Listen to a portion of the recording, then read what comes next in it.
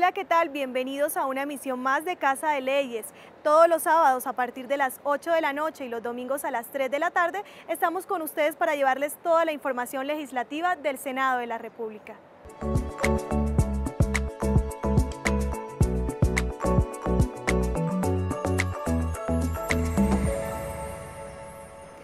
El Congreso de la República cursa un proyecto de ley que busca implementar escuelas para padres y madres con el fin de garantizar una mejor educación y calidad de vida para los niños en Colombia. Esta iniciativa va para segundo debate, con el fin de implementar escuelas para padres y madres de familia de las instituciones educativas públicas y privadas en los procesos formativos académicos. Este proyecto de ley ya haya tenido su primer debate, ya ha sido aprobado y de esa manera tengamos una oportunidad de esperanza para todos los colombianos, para la familia y los niños, porque la escuela para padres y madres, al hacerlo de manera obligatoria para instituciones educativas, tanto privadas como públicas, genera obviamente otra la integración del Estado, la familia y el ente educativo en la formación de los niños. Uno de los objetivos de este proyecto de ley es unir la familia como núcleo fundamental de la sociedad y el primer responsable de la educación de los hijos son los padres, razón por la cual es indispensable ofrecer espacios de formación y crecimiento a los padres y madres de familia. El objeto primordial es instaurar las escuelas de padres y madres en las instituciones educativas públicas y privadas, eh, donde sea obligatorio tres asistencias mínimo al año. Si no hay asistencia, habrá unas sanciones pedagógicas que eh, las instituciones son las que dan las pautas según su manual de convivencia. La iniciativa legislativa buscará que las escuelas de padres y madres sean un espacio de formación y reflexión, especialmente preventivo que contribuya a la modificación de conductas para educar con eficiencia a los niños y a las niñas del país.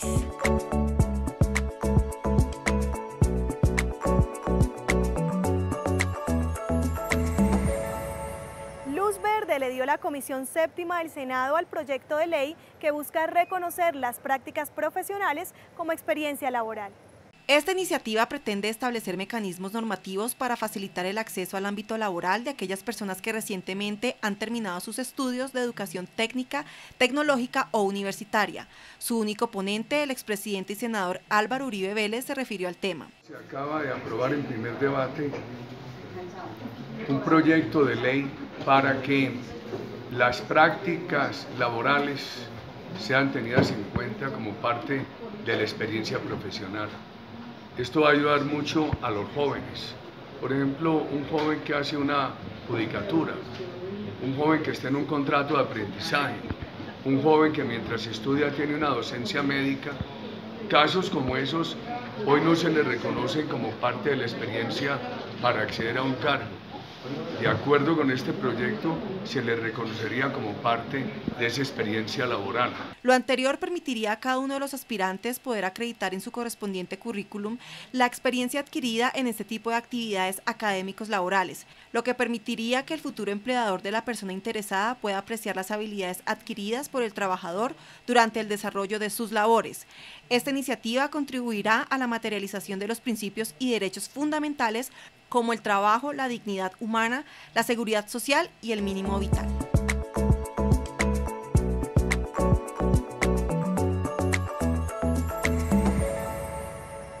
Por unanimidad pasó a último debate la ley del actor que garantizará los derechos laborales y culturales de los actores y actrices en Colombia.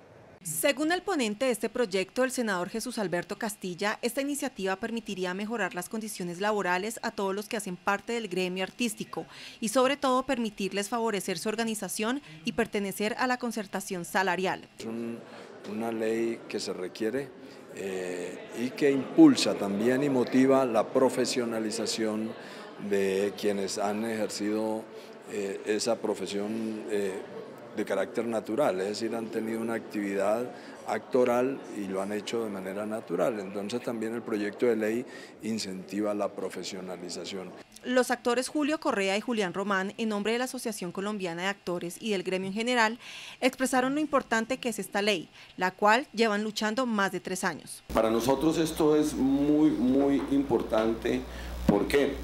Eh, porque sabemos que hay mucha confusión sobre el trabajo nuestro no está caracterizado y lo que estamos buscando es un espacio de reconocimiento. Ha sido un eh, emprendimiento de nosotros los actores muy bonito y muy interesante, donde hemos nosotros mismos entendido qué papel cumplimos en la sociedad y le decimos al Estado, aquí estamos y necesitamos que seamos vistos como trabajadores y que somos una parte importante para la, ciudad, para la sociedad. Los congresistas afirman que esta iniciativa pretende reconocer las calidades laborales de los actores, obligando a los canales y productoras de televisión a pagarles un salario digno y su seguridad social. De igual manera señalan que esto también es un homenaje a la gran labor que han desarrollado durante décadas en Colombia. La Comisión de Ordenamiento Territorial se reunió en la ciudad de Medellín para revisar los esquemas asociativos territoriales en el país. El senador Eduardo Emilio Pacheco recordó el avance que se ha hecho desde la Comisión de Ordenamiento Territorial con estas regiones asociativas de participación, para que en el Plan Nacional de Desarrollo se armonicen proyectos afines en beneficio de los municipios y se puntualizó por el congresista antioqueño Santiago Valencia las coincidencias culturales. La dinámica entre el departamento de Córdoba y el departamento de Antioquia es toda. Tenemos además dos, eh, en el caso de Antioquia, dos subregiones supremamente importantes para nuestro departamento que comparten no solamente frontera con el departamento de, de Córdoba, sino cultura. El gobernador de Antioquia, Luis Pérez, exaltó la importancia de trabajar en las áreas metropolitanas, regiones y provincias, mientras el director de la área metropolitana de Medellín, Eugenio Prieto, pidió la reducción de las motocicletas como el tercer agente contaminante. Eh, cualquier modelo de esquema asociativo territorial, sea una RAP, sea un área metropolitana en las conurbaciones o sean provincias administrativas y de planificación, lo que estamos diciendo es que es muy valioso para generar más competitividad, pero también sostenibilidad, inclusión y equidad. El legislador Feliciano Valencia apoya la asociatividad pero recordó la importancia de no excluir a los indígenas, campesinos y afrocolombianos. Mientras la gobernadora de Córdoba enumeró lo necesario de trabajar en equipo para los departamentos. Yo en las propuestas que aquí se plantearon el día de hoy escuché la asociatividad de municipios, de provincias, pero no escuché las entidades territoriales indígenas y afrocolombianas que también son reconocidas en la Constitución política de Colombia. La gente de Córdoba estudia Medellín, la gente de Medellín va a pasar los fines de semana a Coveñas, a Montería, a las playas de, del Golfo de Morrosquillo. Realmente lo que hay es una unidad territorial, unida por ecosistemas, por la Ciénaga de Ayapel, por el Nube Paramillo y otras problemáticas como la convivencia, el orden público. El presidente de la Comisión de Ordenamiento Territorial anunció que desde el Congreso se seguirá apoyando estas asociaciones de avanzada para las regiones. Estamos dándole posibilidad a las regiones que se autogobiernen, que tengan voz, que se puedan construir desde la región hacia el centro del país.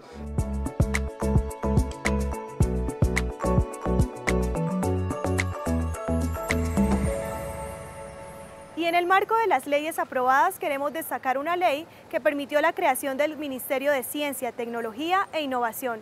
Esta es una iniciativa que ha sido liderada por el senador Iván Darío Agudelo. El senador Iván Darío Agudelo, autor de la ley 1951, instó sobre lo importante que es para Colombia poder avanzar en materia de ciencia y tecnología, pues para el congresista se hace inminente que nuestra sociedad esté a la vanguardia en los retos, avances tecnológicos que hoy en día el mundo emprende. Colombia hoy al transformar y al pasar de conciencias a ministerio, pero de una manera muy fuerte, muy robusta, es entender las dinámicas del mundo actual. Conciencia nace como la respuesta a la tercera revolución industrial. Hoy estamos en la cuarta revolución industrial. ¿Cómo le está respondiendo hoy Colombia al mundo? Le está respondiendo con un Ministerio de Ciencia, Tecnología e Innovación. De 34 países de la OCDE, 23 tenían ministerio, hoy 24. A partir de enero entra en vigencia y es la construcción del nuevo país. Los países que superaron las diferencias lo hicieron de manos de la ciencia, la tecnología, la innovación, la disciplina, la educación y ante todo el amor propio. Y eso es lo que tiene que empezar Colombia, a creer, a salir del fatalismo, del negativismo, como lo hicieron los demás países que están en condiciones peores que Colombia. Esta ley permite que Conciencias ahora pueda dar un paso adelante y ser llamado Ministerio de Ciencia, Tecnología e Innovación. Hoy el presidente Iván Duque crea una nueva misión de sabios que, eh, que la conforman los grandes científicos de Colombia y todos ellos están trabajando mancomunadamente para la creación ya como tal y puesta en funcionamiento de ese ministerio, conociendo modelos extranjeros, demás países también aportando y eso ha permitido que hoy Colombia empiece a pensar diferente. La ley sin duda permitirá que nuestros jóvenes y científicos obtengan una mejor preparación, la cual hará posible que Colombia esté ubicado en los principales rankings de competitividad en ciencia y tecnología.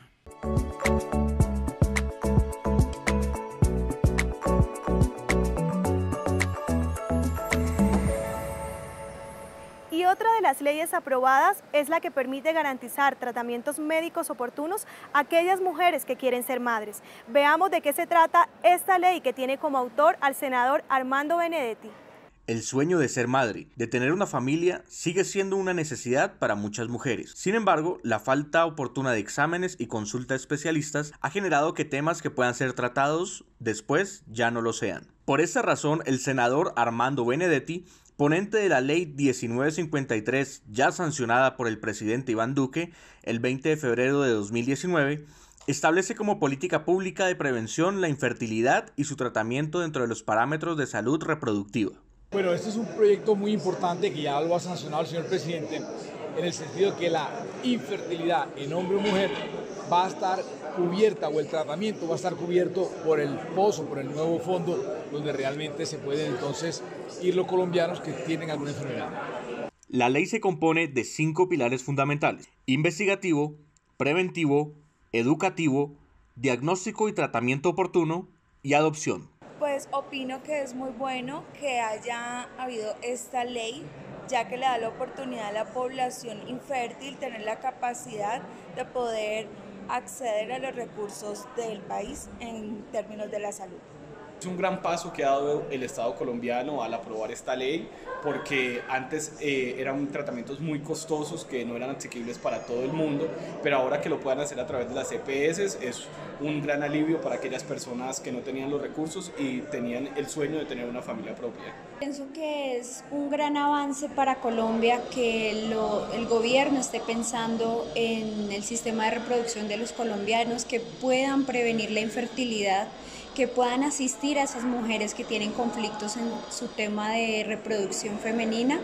Creo que es una herramienta muy valiosa y de aplaudir para el gobierno colombiano.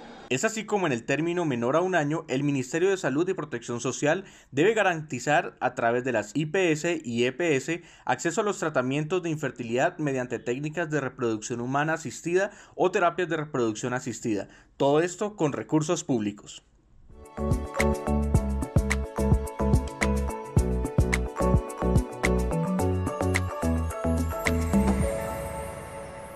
Durante este primer mes legislativo, varios senadores se hicieron notar con las radicaciones de proyectos. Veamos aquí el resumen de algunos de ellos.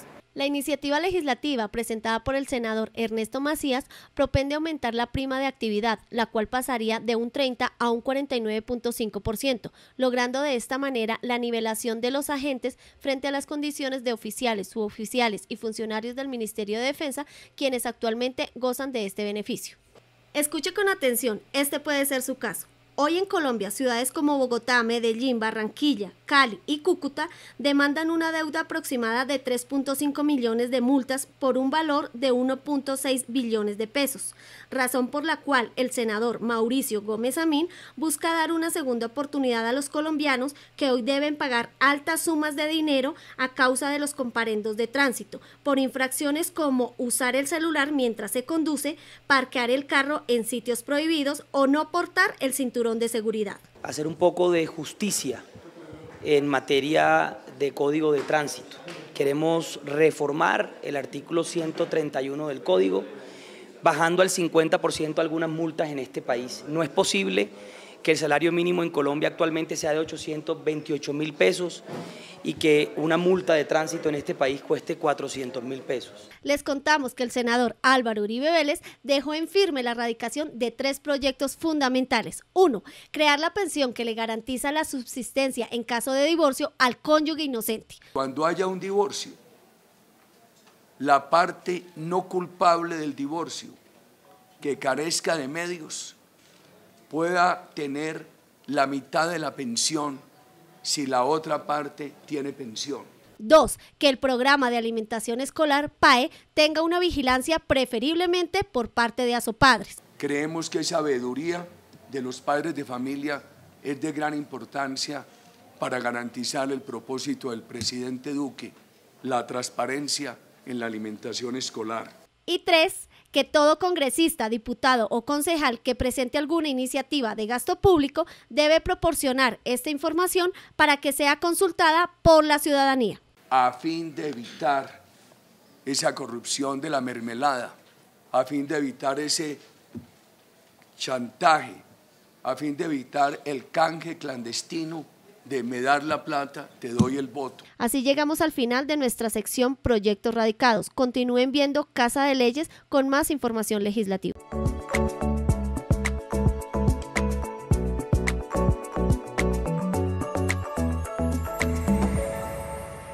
Esta semana quisimos conocer la opinión de algunos ciudadanos sobre la ley del actor que garantizará los derechos laborales y culturales de los actores y actrices en Colombia.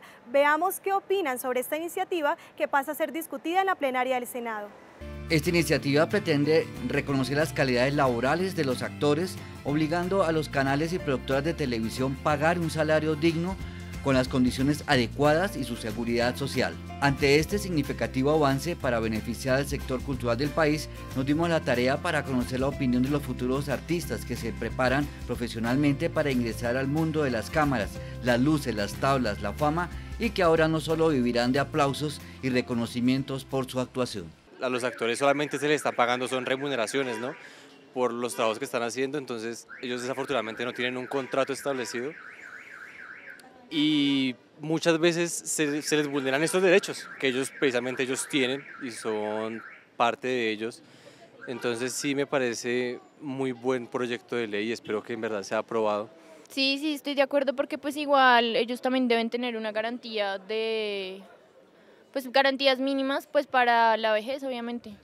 Pues me parece correcto, es un proyecto de ley que beneficia tanto como a los actores como a las personas como estudiantes que, que están en su carrera actoral. Sí, sí, estoy de acuerdo en el proyecto de ley que se piensa implementar ahorita, porque pues así como actrices y actores son personas que tienen el derecho fundamental de la seguridad social y demás eh, privilegios que necesitan para el sector laboral. Por unanimidad los senadores de la Comisión Séptima aprobaron el proyecto que defenderá a los actores y ahora pasará a su último debate a la plenaria del Senado esperando también el consenso general para su aprobación y luego iría a sanción presidencial para su próxima aplicación.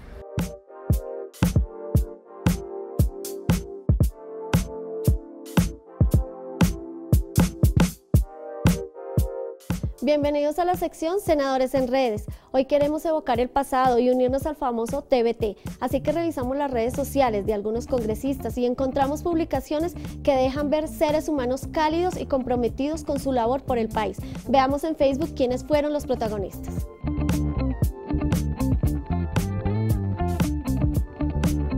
El senador Jorge Eduardo Londoño hizo sentir el sumerse en el Congreso de la República con su apoyo a los campesinos de Boyacá, esa tierra hermosa de agricultores arroba Jorge Londono U. Seguiremos en la lucha por los intereses y derechos de nuestros campesinos. Somos la voz de todos ustedes. Se aprobó en primer debate el proyecto de ley que busca la formalización de 2 millones de predios en Colombia descubrimos una publicación del senador Didier Lobo en la que resalta uno de los tesoros más importantes que tiene, su hija. Veamos cómo agradece a Dios por su vida y le expresa a ella el inmenso amor que le tiene. Arroba Didier Lobo Senador, arroba Diana Lobo. Siempre agradeceré a Dios por bendecirme con una hija con tantas cualidades y virtudes como las que tú tienes. Hija mía, feliz cumpleaños. Ten presente que mientras yo viva, seré tu apoyo para que alcances retos y materialices sueños. Te amo mucho.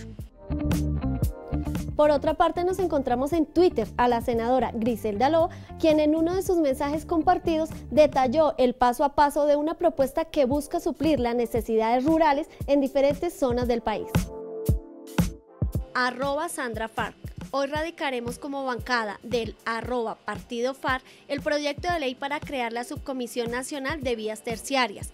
Poder llevar los productos del campo a la ciudad es cerrar la brecha que durante años ha marginado a los campesinos, es avanzar como país. Finalizamos nuestro recorrido con la presidenta de la Comisión de la Mujer, la senadora Ana María Castañeda, quien continúa trabajando por enaltecer la labor de las mujeres del país arroba Animarcas. Estas son mujeres, hashtag Mujeres Emergentes. Hoy reciben el galardón de la Orden Policarpa Salabarrieta para destacar las labores que transforman positivamente a las mujeres a través de la ciencia, la tecnología y la innovación.